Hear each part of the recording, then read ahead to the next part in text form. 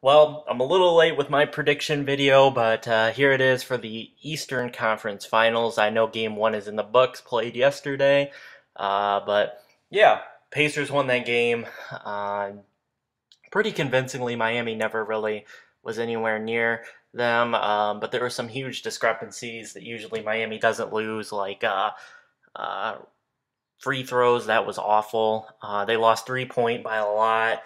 Um, the Pacers had a really good shooting percentage in the first half and got off to a huge lead.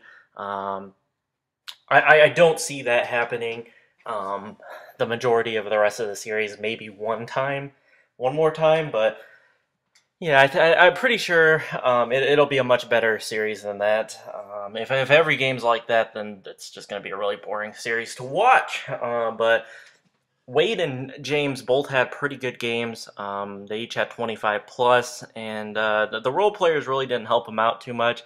I don't think Bosh had that great of a game.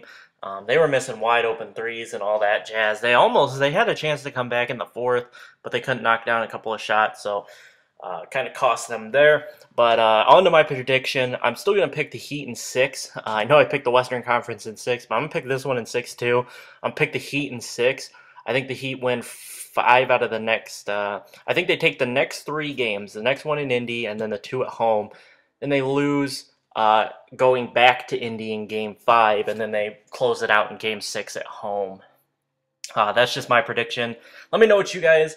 Uh, your predictions for the Eastern Conference Finals. I'd really like to know. I know most of you are going to pick the Pacers because you hate the Heat, uh, but uh, try to give me a realistic pick, even if you don't want the Heat to win. If you think they are, then pick them. But I hope you guys enjoyed. Drop a like if you did. Subscribe if you haven't. I'll catch you guys in my next video. Peace out, guys.